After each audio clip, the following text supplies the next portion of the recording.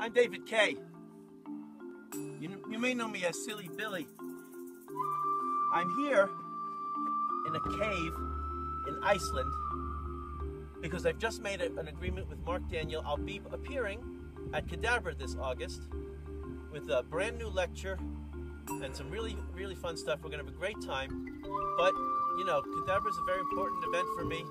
So from now until August, I'm going to be resting here in this cave, build up my, my energy, write hilarious new jokes, uh, and just to, you know, focus, because I want to be the best I can for KIDabra. So um, I'm going back. Thanks for stopping by, and I'll see you at KIDabra. Bye.